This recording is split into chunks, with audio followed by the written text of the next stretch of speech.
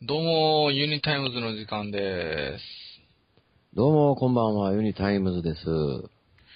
ユニタイムズね、もう25回目ですか？えー、今回で25回目ですね。ですね。なんか24回目がね、なんかすごい再生回数がこうどんどん伸びてるということでね。なんかもう100回超えたとかっていう。そうですね。あの、まあ、ありがたいことですし、それとまあ、あの、お電話ではないんですけど、まあ、コメントをね、あの、一生懸命書いてくれてはるんで、あの、なんていうのかな、放送の中で、えー、まあ、ここまではもう話さんでいいかっていうようなことまで、あの、まあ、付け足してくださってるみたいなもんですからね。まあ、そうですよね。うん。なんか補填してくれてるみたいな感じですもんね。うん、そういうのありますね。うん。まあ、とりあえずは、あの、本当に、えーそれが批判であれ、あの、肯定的な内容であれ、まあ、あの、とりあえず関心持っていただいてるっていうことが、まずね、あの、ありがたいなっていうのが、まあ、あの、正直なところです。うんうん。そうですね。やっぱ、うんほんま関心持ってもらってなんぼですからね。うんう。ん。反響がなかったら、ね、なんかこう、やっててものれんに腕押しみたいな感じでね。まあ、そうですね。まあ、でも、反響あるまで、やり続けません。やる、やり続けないといけませんけどね。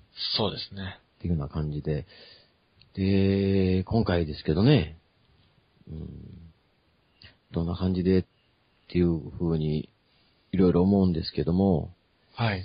あのーまあ、これまで24回、まあ、その中にはちょっと特別編っていうのが、まあ、あったので、まあ、およそ20回として、まあ、いろんな政治とか、まあ、経済とかね、えーまあ、いろんな社会問題、そか、えーただその、あんまり詳しくはね、えー話しても来なかったので、うん。もっとこの、ズバズバとっていうような、ご意見あったりとかですね。ああ、そうですね。うんで、まあ、あの今回そういうことを、まあ、少し、ちょっと補うような意味でね、あのまあ、おっちゃんの方からですね、その国際情勢っていうものを、この、目に見える国際情勢っていうものじゃなくて、もう一つの、あの、見方っていうようなことを、まあ、話できればいいかなっていうふうに、まあ、今回思うんですけどね。ああ、それ、いいですね。なんかこう、ニュースの見方もね、変わるかもわかんないですね。そうですね。それはありますね。うんうんえーじゃあ、そんな観点でね、ちょっと、まあ、お話できたらいいかな、っていうふうに思います。そうですね。なんかこう、いろんなね、やっぱニュースは毎日毎日出てきますもんね。それがなんかこう、なんだろう、正しい方向というか、あのー流そう、そのニュースの、ニュースを作ってる人たちが、うん、うん。その、こう思ってほしいってういう意図がやっぱあるわけじゃないですか。ん。そうやテね。レビ番組も全部そうですけど、やっぱ台本があるので、うん、うん。そのプロデューサーとかそのディレクターとかが、その、意図してるものではない、その、本当の情報っていうのをニュースの中から見つけるというか、その、読み出せたらね、うん、うんこ。れはとってもいいことやと思うんで、そうですね。なのでね、あのーまあ、国際情勢の見方っていうのかな。まあ、そこにはもちろん、えー政治家が絡んできたりもするわけですし、うん。あるいはその、まあ、イルミナティっていう言葉も最近ね、聞いたりとか、ロスチャイルドであるとか、ロックフェラーであるとか、いろいろ出てきますけども、うんうん。えー今回話する内容はね、その彼らでさえも、まあその政治家とかっていうレベルも含めてね、はい。我知らず起こしている行動っていうのが、えー実はあるっていうこと。まあこの辺がね、ひょっとしたら結論になるかもしれないですね。へーう。んだから、まあこれはちょっと微妙に何度か触れてますけど、戦争、はい。世界大戦。はい。これもね、いろんなあの原因があって起こるんだけども、ただ、我知らずっていう部分もね、あの、あるもう一つの、お見えない力が働いてる。まあそんなこと。うん。それが、えもし簡単に結論言えって言われたら、えー結論になると思いますね。うん。その我知らずっていうのがちょっと気になりますね。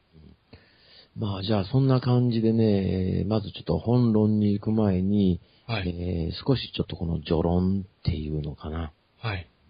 で、今、単純にこの地球っていう規模で、いろいろ見てみると、はい。まあアメリカが悪く言われたりね、えーしてると思うんですよ。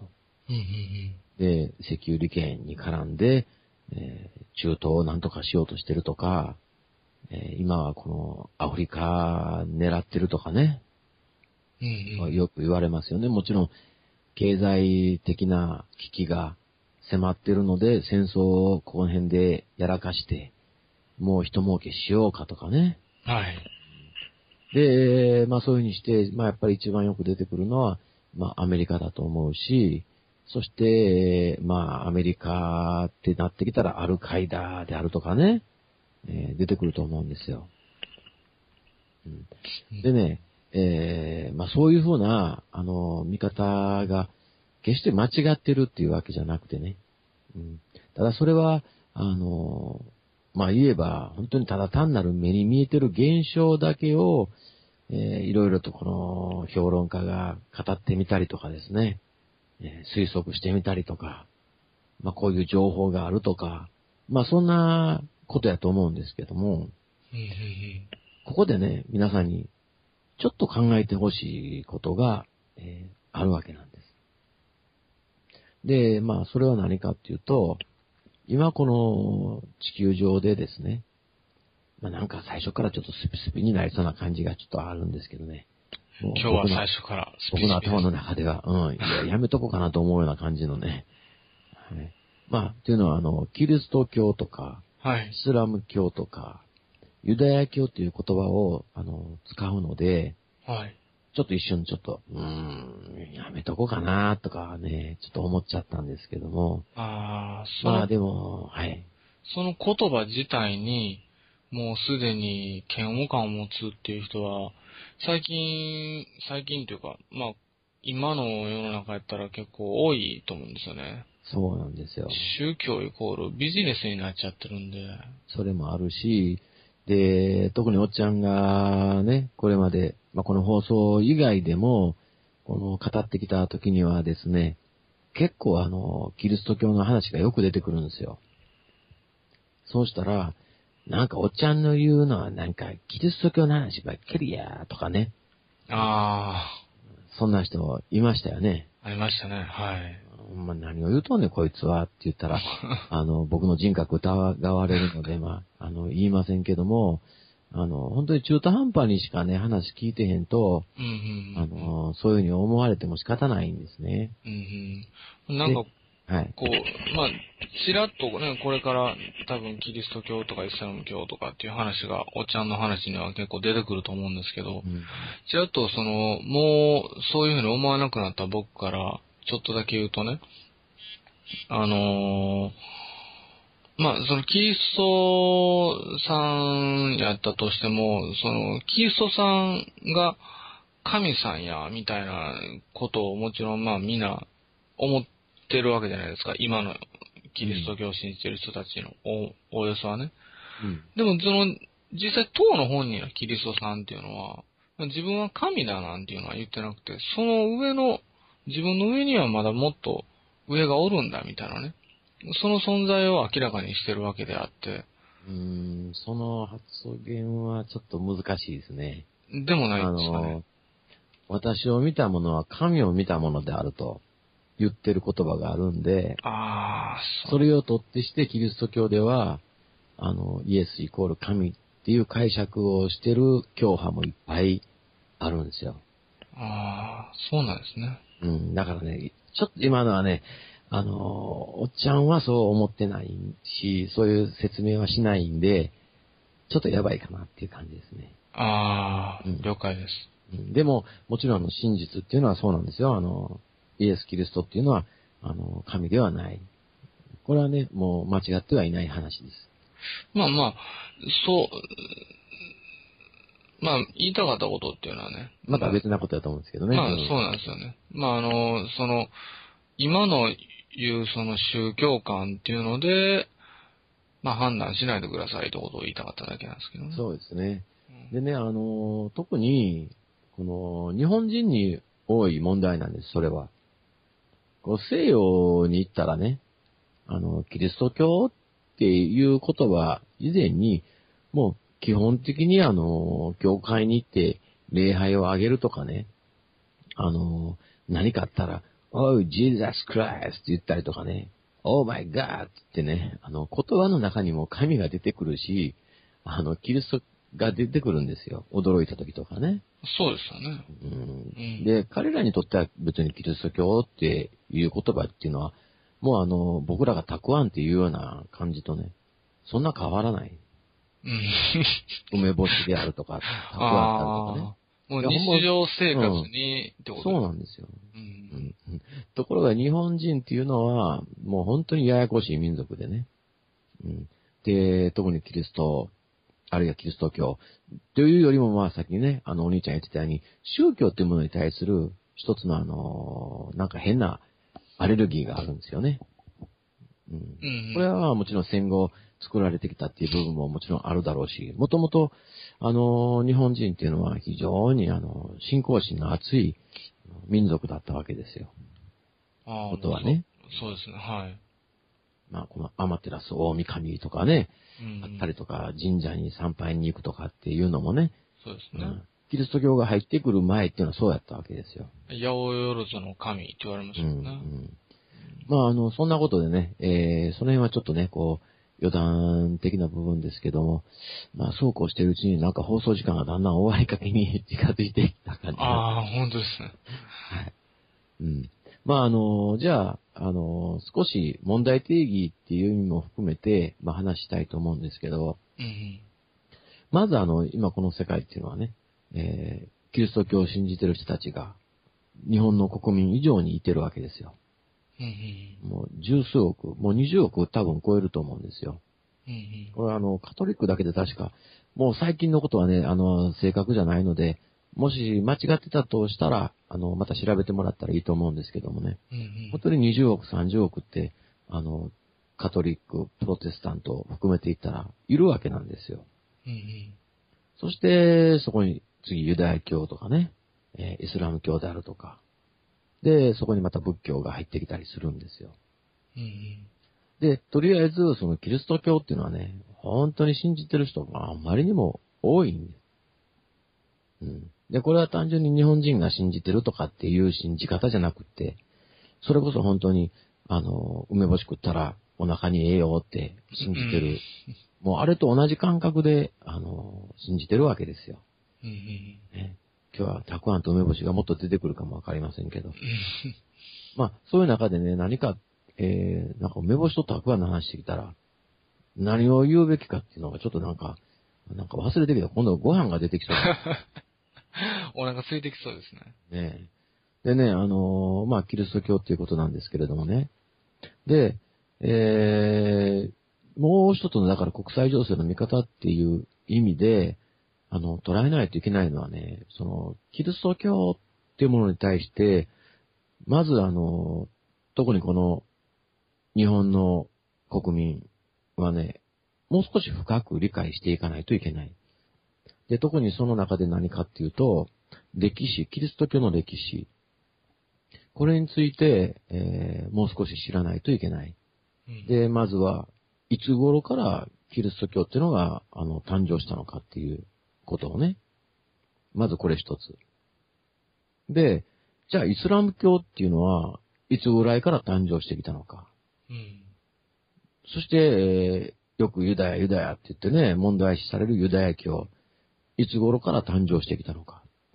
うんうんまずこのね、いつ頃から誕生してきて、そしてこのユダヤ教とイスラム教とキリスト教っていうのは、非常に密接な関係があるわけですよ。うん。まあうん、簡単に言ったら、ユダヤ教からキリスト教が出てきたわけですよ。そして、キリスト教からちょっとこの枝分かれするような感じで、イスラム教っていうのが出てきたわけですよ。だから順番で言うと全部繋がってるんですけれども、うんユダヤ、キリスト、イスラムっていう、こういう流れがへね、あるわけですね。ーはい。で、こっから先はね、少しあのー皆さんが、もう少し、その、ユダヤ教のさらに、成り立ちというのか、成立、どのようにしてユダヤ教っていうのができていったのか。これは一度ね、ちょっともしあんまり詳しくない人がいたら、えー知ってほしいと思うんです。うんで、えーさらにそこからキリスト教ね。で、キリスト教にしても、えー今はカトリック、プロテスタントと言われているけれども、そもそも、キリスト教の始まりというのは、プロテスタントとかカトリックとかっていう言葉自体も、元はなかったんですそうですよね。よ。うん。はい。で、いつから、そういったふうに二つに、この、区別されて表現されるようになったのかっていう、この辺のことも、もし知らない人がいたらね、ちょっとこう調べてもらいたい。もうちょっとこう関心持ってもらいたいっていうことになります。うんうん。で、じゃあもう一つ、この国際情勢の見方として、えーよくユダヤが分かれば、なんかこう世界が分かるとかなんか、そんなことを、えー言ってる本に書いて、書いたりとかね、いろいろ講演したりとかして有名な人いますけれども、あのー本当にユダヤが分かれば、とは思うんですけども、ユダヤだけじゃやっぱりもちろんダメで、ユダヤが分かり、キリスト教が分かり、イスラム教が分かり、この関係が分かってくると、今の国際情勢がなぜこんな、こんなにもこのややこしくなってるのか、揉めてるのかっていうことが分かるし、なぜアメリカはこのようにするのか、なぜイギリスはアメリカに対してこのようにするのかっていうことが、あの、分かってくるんです。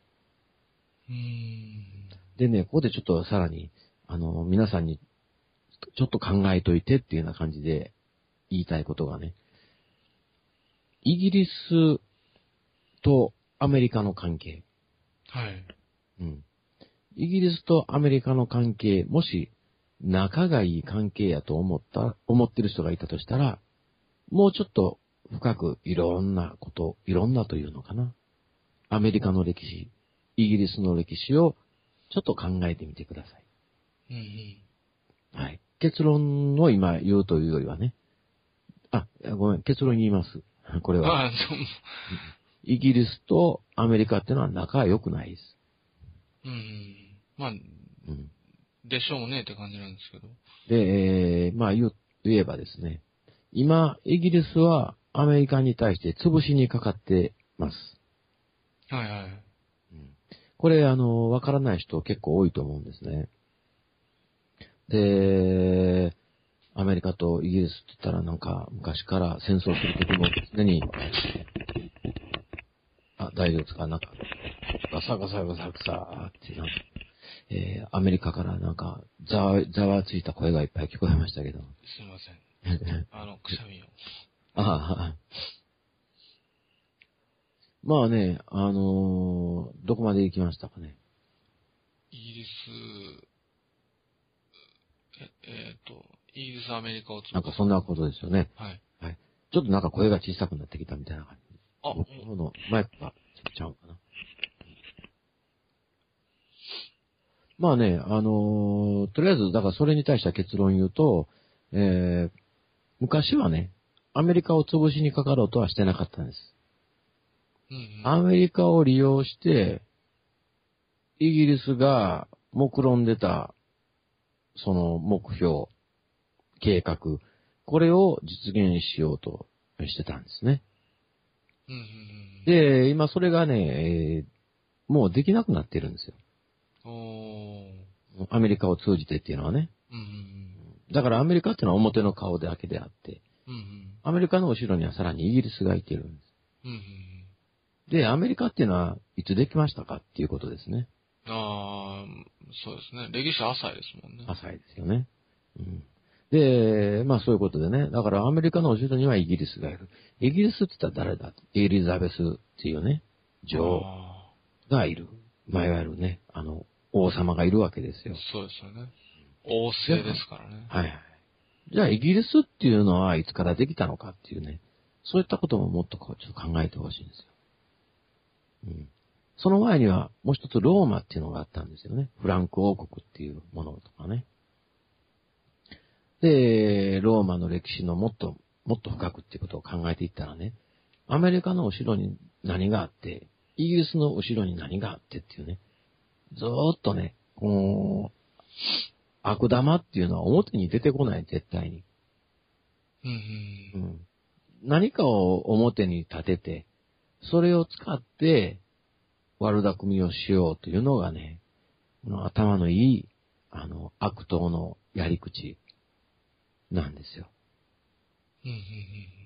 で、そういうふうに考えていったときにね、あの、じゃあ日本はどのあたりに入るんだろうか。はい。日本ね。日本はアメリカよりも歴史が長いですか短いですかっていうね。アメリカよりも日本の方が歴史長いわけですよ。そうですよね。長いです。長いですよ。はい。じゃあ、どれぐらい長いんだろうかっていうことをね、これもまた考えていかないといけない。ああ。日本の本当の成り立ち。だからそんなことを考えていくとですね、結局何かっていうと、以前に話している、この世の中が大きく変わっていこうとする、その間際においては、天皇の話とか、うん。その、ローマ教皇ね、まあ、ローマ法王でもいいですけど、のとか、エリザベス女王とかうんうん、っていうね、この人たちが注目されてくるというか、話題がガーッとたくさん出てくる。まだ今は少ない。うんもっと、非常に重要な存在なんです。うん。うん。うん。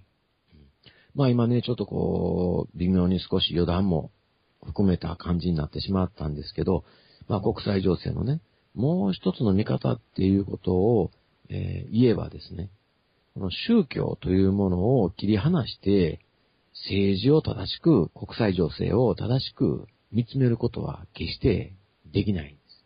うん。うん。うんそこにはね、非常に、えースピリチュアルなね、力っていうものが関係してるっていうことなんです。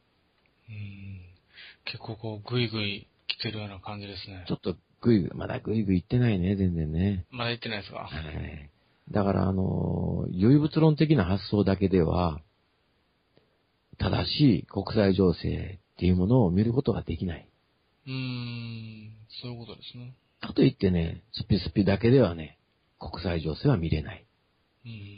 両面が正しく判断する材料として揃って、本当のことがわかる。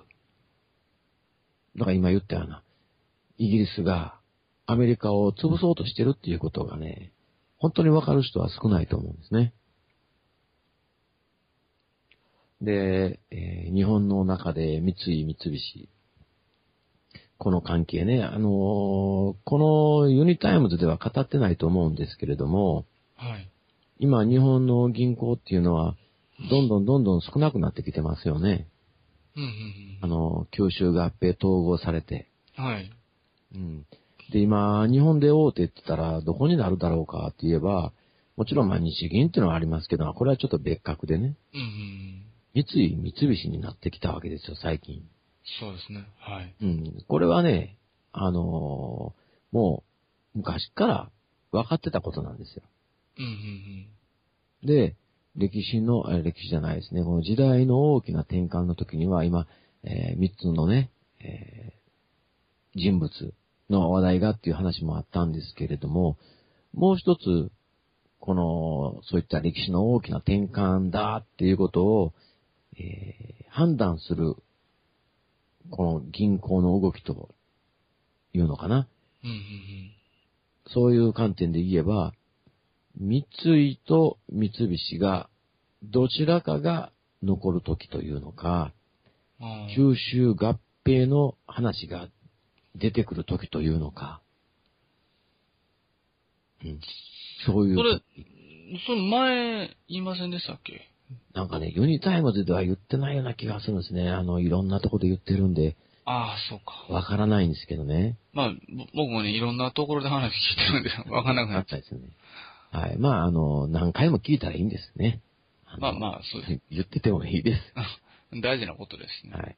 でね、あの、三菱が上に上がってくるか、三井が上に上がってくるか、これね、結局アメリカとイギリスの力の関係、バランス、うんうん。これのお一つのね、測りになるので、で、今あの、三菱っていうのは、核ミサイルに関するいろんなことと関連し合ってるかと思ったらね、うんうん三菱はそうだとしても、また三井は三井でね、いろんな悪いことに関わってるわけですよね。うん。あまあこれ、まあ、なるわけですけどね。だけど、あの、今日はむちゃくちゃ大サービスなんですけどね。あ。おちゃんでもそれ次に回しません？回しましょうかもうねそろそろ。はい。ここで、はい、えー、ストップが入りましたんで。結構時間が。はい。じゃあ、あのーまあね、ここまでの話の中で、あの、いろいろ、もっとここはどうなってるかとかね、なあそういうものがありましたら、いつものように、まあ、お電話くださいとうんいうことで。はい。じゃあ、えーまた次回の放送をお楽しみに。さよなら。はい、さよなら。